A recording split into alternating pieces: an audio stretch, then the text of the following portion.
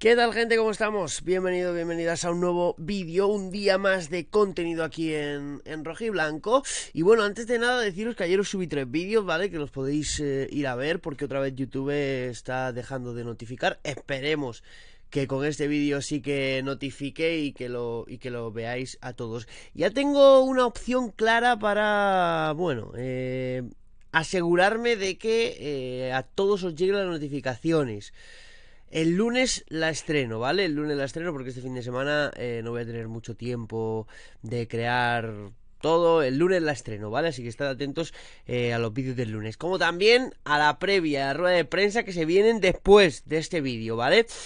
Y en ese vídeo seguro que os llama la atención algo. Lucas Hernández. ¿No? Lucas Hernández os llama la atención. Bien, tengo eh, información sobre Lucas Hernández y que tiene que ver indirectamente con la noticia que saltaba hoy en Italia de Lodi, ¿vale?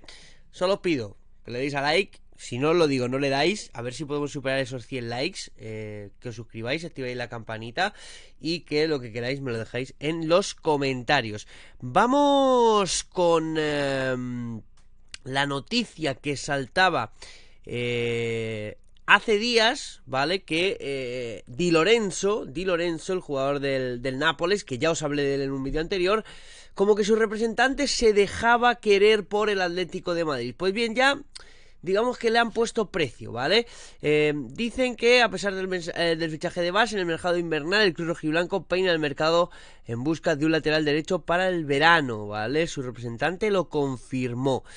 El representante, mm, bueno, dijo que sí, que, siempre ha estado ahí el Atlético de Madrid, eh, a, la, a la, espera de Giovanni Di Lorenzo, en la larga lista que tiene Andrea Berta de, mm, de, de, jugadores en, en todas las posiciones del campo, porque eso sí que es una locura. Y dijo que el Atlético siempre ha estado interesado. Pero dice, Ojo, esto es lo que nos importa. Una cifra para venderlo. No me corresponde a mí decir eh, que dar. O sea, decir que dar sería una oferta sería injusto. Uy, qué mal redactado está esto. 20 millones, honestamente digo que no. En mi opinión, vale 25 o 30 millones de euros. El Atlético de Madrid siempre ha estado interesado. Así que, en mi opinión, podría haber más ofertas.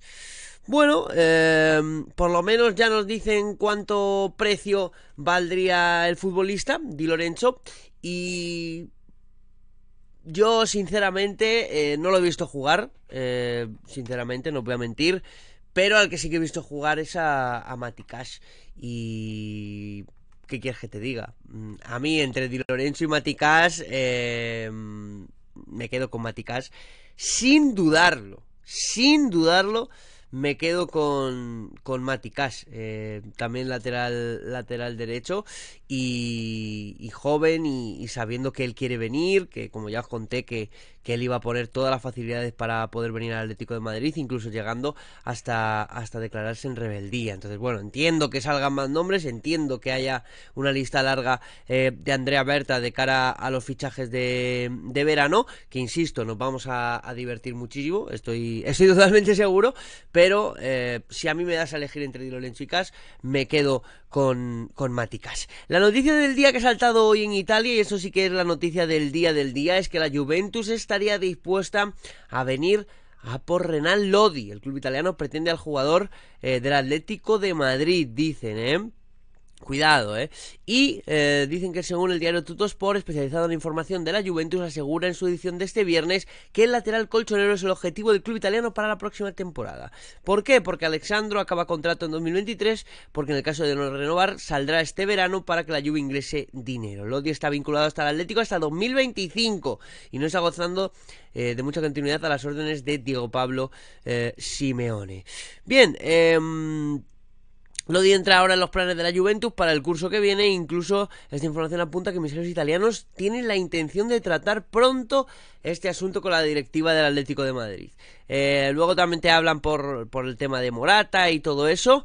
Pero cuidado con Lodi, cuidado con Lodi que yo no veo tan clara su continuidad. Y antes de dar la información sobre Lucas Hernández, porque os recuerdo que Lucas Hernández también podría eh, participar de lateral, de lateral izquierdo, aparte de central, os diría, os diré que la llegada de Reinildo eh, el amor que tiene Diego Pablo Simeone por em, Manu Sánchez, que no me salía el nombre, y que Lodi parece que ya no va tan, hacia arriba eh, como estos años hacían prever, pueden hacerle tomar al Atlético de Madrid una decisión de vender a Renan Lodi. Aunque esta información sea cierta, desde el club dicen, y he preguntado esta mañana, eh, aparte de lo de Lucas, que eh, si se consiguiera adaptar a esa posición de falso carrilero, o poder jugar de interior izquierdo, ¿vale? Por ejemplo, en ataque de interior izquierdo y en defensa de carrilero, por eso yo le llamo falso carrilero, em, crecerían sus opciones de quedarse en el Atlético de Madrid. El Atlético de Madrid se remite a su cláusula de rescisión, que no sé cuál es, pero que no será muy alta. De hecho, voy a ver, em, voy a ver aquí eh, cuánto es su eh, su valor de mercado ahora mismo, más o menos. Eh, aquí, Renan Lodi. pero que el Atlético de Madrid se remite a su cláusula. Su valor de mercado es de 20 millones. Y bueno, pues eh, esto actualizado a fecha de 30 eh, del 12, o sea, hace nada, hace un par de meses, 20 millones vale el bueno de Renan Lodi, pero que el Atlético de Madrid se estaría pensando, si viene una buena oferta y son eh, operaciones separadas, la de Lodi y la de Morata, poder vender al futbolista brasileño a la Juventus de Turín. Si esto ocurriera, a pesar de que mi fuente más fiable, Mateo Moreto, dijera que Lucas Hernández no es un objetivo del Atlético de Madrid para el mercado de verano, se abriría la vía de Lucas Hernández. Em, aparte de todas las tonterías que ha hecho Lucas Hernández últimamente con respecto al Atlético de Madrid, de darle fava, eh, favorito perdón, en Twitter a varios em, hinchas colchoneros o cuentas de Twitter del Atlético de Madrid, subir una foto con un círculo rojo y uno blanco y que le contestara un montón de jugadores, que le diera like Diego Pablo Simeone y Antoine Grisman. Todo esto, a pesar de, todas esas tonterías, los contactos entre Simeone y Lucas Hernández son eh, prácticamente semanales. El futbolista quiere salir del Bayern de Múnich, ¿vale? El futbolista quiere salir del, Bayern de Múnich, aunque ahora está jugando más, em, no ve que tenga la importancia que, que él cree. Simeone, obviamente, estaría loco por traerlo. Ya hemos hablado en algún vídeo anterior de que deportivamente sería un sería un pelotazo, pero claro, el precio está bastante inflado, ¿no? Tras, tras los 40 eh, kilos, o sea, perdón, tras los 80 millones que pagaron por él en... Bueno, no sé si son 40 o 80, bueno, da igual, pagaron un montón de dinero por él y no le van a dejar salir por, por nada, ¿no? O sea, no, no te lo van a regalar. Pero el deseo de Lucas es volver, el deseo de Simeone es que vuelva. Y me dicen que si la operación Lodi al final se hace, probablemente eh, vayan a intentar lo de Lucas. Pero claro, desde el club me dicen también que al no saber cuál será la decisión de Simeone, si es quedarse o es irse, no pueden planificar fichajes que pide Simeone hasta que el club no conozca la situación clara y el 100% eh, si se va a quedar Simeone o se va a ir de cara a la temporada que viene.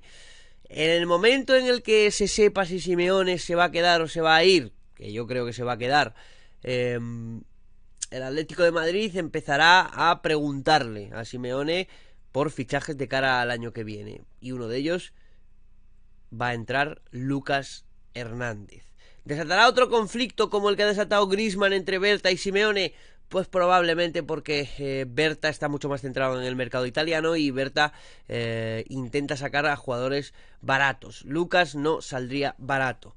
Deportivamente, insisto, como, como dije con Grisman, es un fichajazo, es un acierto brutal, pero claro, eh, hay que ver también cómo viene de, del coco. Hay que ver también cómo viene de la, de la cabeza y que deje de hacer muchas tonterías. Esta es la información que tengo yo sobre Lucas que pueda actuar de los dos puestos de la defensa y de lateral izquierdo. por eso venía a colación de la de Lodi. Me la he guardado para, para no, bueno, eh, no, no, interrumpir el clima Champions, ¿vale? Y hoy creo que es el mejor día para, para decirlo, pero esta información ya me la dijeron hace hace varios días y hoy cuadraba con todo lo de con todo lo que ha salido de, de Renal Lodi. En fin, gente, os recuerdo darle like, importante, darle like, suscribiros, eh, activar la campanita, los comentarios, lo que queráis y sabed que hoy hay dos vídeos más, dos, la rueda de prensa de Simeone y la previa del partido contra el Celta de mañana a las 9 de la noche. Gracias a todos, ¿eh? un abrazo y un beso fuerte. Adiós.